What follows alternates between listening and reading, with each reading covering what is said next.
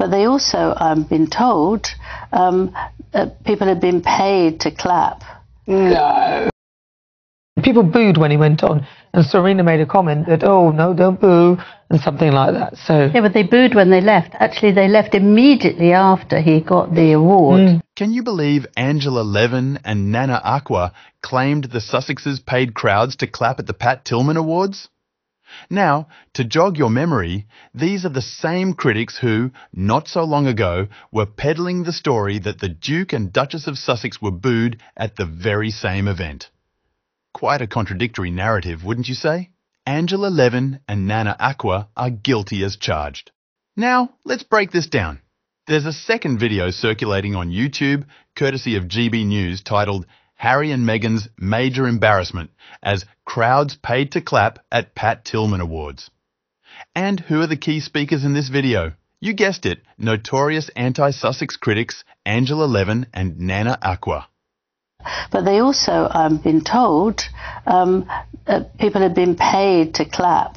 No. when really? they were What there. Mm, because No, they didn't want. Harry was so upset that he could be booed out of the whole building that they got some people there who would cheer. Now, do keep in mind that these are the same individuals who earlier claimed that the Sussexes were met with boos at the ESPY Awards. Levin even went as far as to say that the Duke of Sussex was uncomfortable during his speech at the event. And now, we're supposed to believe that they paid the crowd to clap? These are two different things and can't happen at the same time. It's quite fascinating to see the lengths these critics will go to distort the reality. One minute they're booed, the next they're paying for applause. There's a clear inconsistency in their stories, and it's hard to ignore. It's as if they're throwing everything at the wall and hoping something sticks. I can't stop laughing at these foolish ladies. The actual facts of the event paint a very different picture. The Duke of Sussex was met with a standing ovation during his acceptance speech, led by none other than the Duchess Meghan herself. There was no booing, no paid applause, just genuine respect and admiration for the work he has done with the Invictus Games Foundation. So, we have two contradictory lies from Levin and Akua, both aimed at discrediting the Sussexes. It's clear that their stories don't add up. Inconsistencies in their own words. Now, let's turn to what really happened at the Pat Tillman Awards. Contrary to the unfounded lies made by Angela Levin and Nana Akua, the Pat Tillman Awards was a moment of celebration and recognition for the Duke of Sussex, not an occasion of embarrassment nor a paid for applause spectacle. The facts tell a very different story, one of respect and admiration for the Duke's dedication and commitment to supporting the recovery and rehabilitation of the international service community. Prince Harry was honoured with an award for his work a decade ago founding the Invictus Games Foundation. The Invictus Games, a multi-sport event for wounded, injured or sick armed services personnel, has had an immense impact on the lives of countless individuals, offering them a platform to showcase their resilience and strength. The Duke's tireless efforts have not gone unnoticed, and the award was a testament to that. And let's not forget the crowd's reaction to Prince Harry's acceptance speech.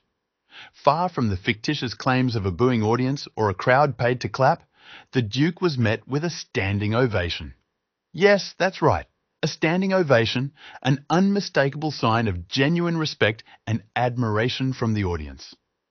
Leading the applause was none other than the Duchess of Sussex, Duchess Meghan.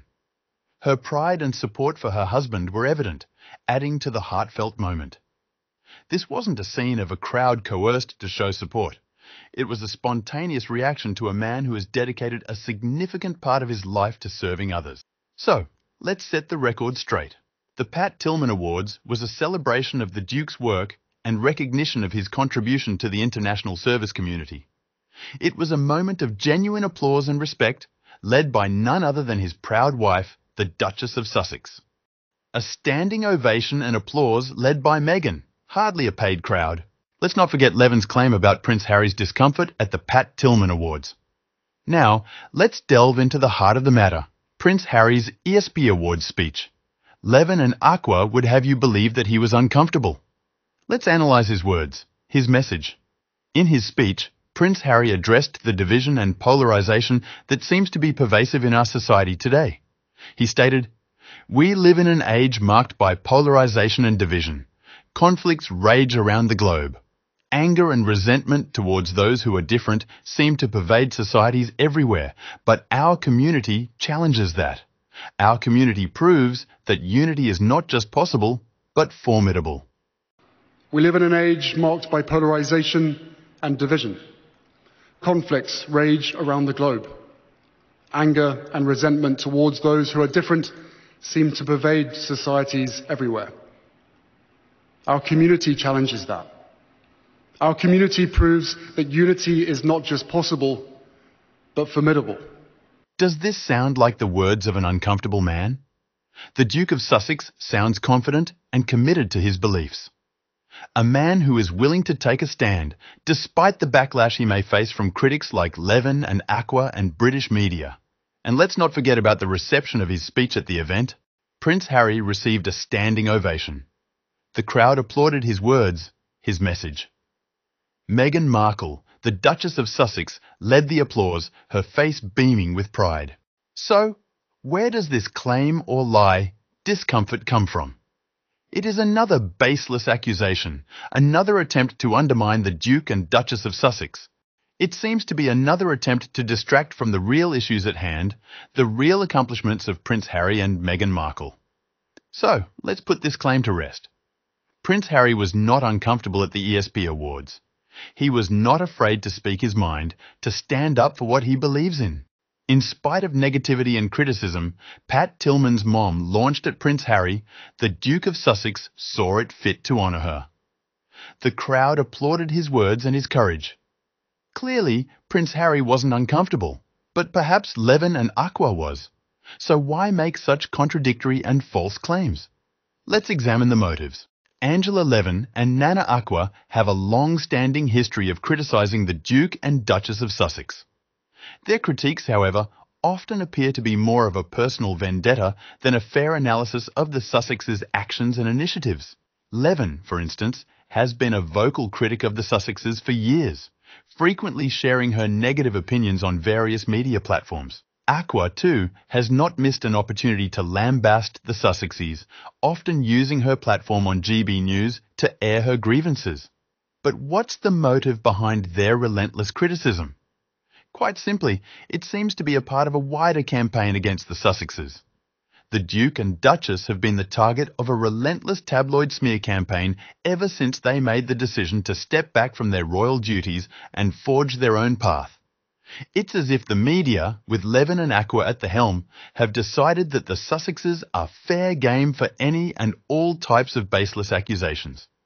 This latest claim, or rather lie, that the Sussexes paid the crowd to clap for them at the Pat Tillman Awards, is nothing more than another attempt to tarnish their reputation.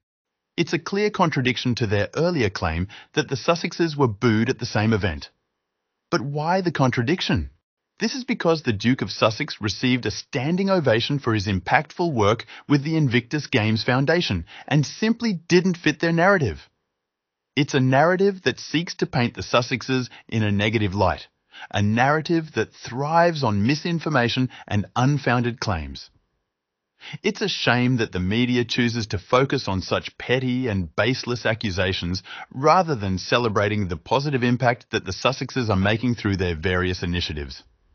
As we continue to support the Sussexes in their endeavours, let's not forget to question the motives behind these false claims. Let's not forget to challenge the narrative that's being forced upon us. After all, as the Duke of Sussex himself said, our community proves that unity is not just possible, but formidable. It seems the only thing being paid for here is misinformation. We've debunked the outrageous claims from Angela Levin and Nana Akua accusing the Duke and Duchess of Sussex of paying crowds to applaud for them at the Pat Tillman Award ceremony. We've also debunked the audacious assertions that Prince Harry was uncomfortable during his speech at the ESPY Awards and that the Sussexes were booed at the event. But we've also seen the truth. We've seen the footage of the Pat Tillman Awards, where Prince Harry was not just applauded, but received a standing ovation for his work with the Invictus Games Foundation. We've heard the Duke's acceptance speech, a powerful message of unity and resilience in the face of adversity, and we've seen the Duchess lead the applause for her husband's achievements. So, why these false claims? Why this concerted effort to paint the Sussexes in a negative light? It's important to remember that Angela Levin and Nana Akua are known critics of the Duke and Duchess. Their motives are questionable at best, and it's crucial to consider this when hearing their allegations. The Sussexes have shown time and again their commitment to service and their dedication to making a positive impact in the world. They've faced adversity, not just from critics, but from their own family King Charles, Queen Camilla, Prince William, and Kate Middleton. They've stood strong in the face of this, continuing their work and proving that unity is not just possible, but formidable. As we move forward, let's remember to question what we hear. Let's not take things at face value, but dig deeper. Let's seek the truth, always. Thanks for joining me today on Royal Telly. It's been a pleasure to guide you through these claims and the reality of what happened. Together, we can continue to support the Sussexes and stand against unfair attacks from the media, critics, and online trolls. Remember to question what you hear and always seek the truth. Don't forget to like, comment, and subscribe to our channel.